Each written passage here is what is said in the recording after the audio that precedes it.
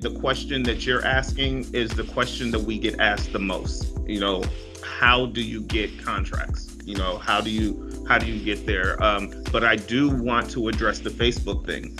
Um, while Facebook won't get you a signed contract, Facebook will get you a lot of attention. And I will tell you that even from this business roundtable and all the things that we do, if you follow us, you'll see that we have a proven track record of demonstrating not just what we do professionally, but what we do in the community.